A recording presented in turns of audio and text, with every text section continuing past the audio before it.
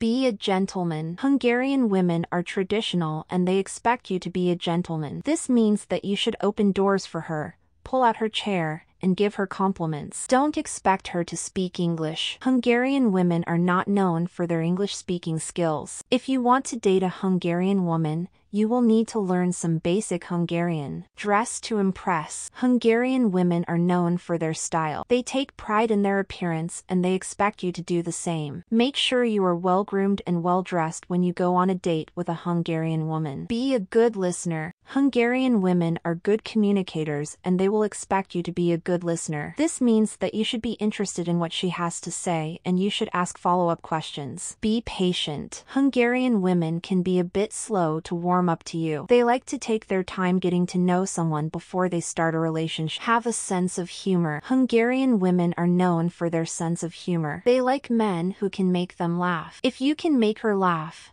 she will be interested in you. Be assertive. Hungarian women like men who are assertive. This means that you should be the one to take charge and make the decisions. She will respect you if you are a strong and confident man. Be a romantic. Hungarian women love romance. They like to be treated like princesses. If you want to win her heart, you will need to be romantic. Bring her flowers, write her love letters, and do other things to make her feel special. Be respectful. Hungarian women are very traditional and they expect you to be respectful. This means that you should not try to take advantage of her or push her into doing anything she doesn't want to do. Be yourself. Hungarian women are attracted to men who are genuine and authentic. They can see through bullshit and they will know if you are trying to be someone you are not. Be yourself and she will appreciate you for it.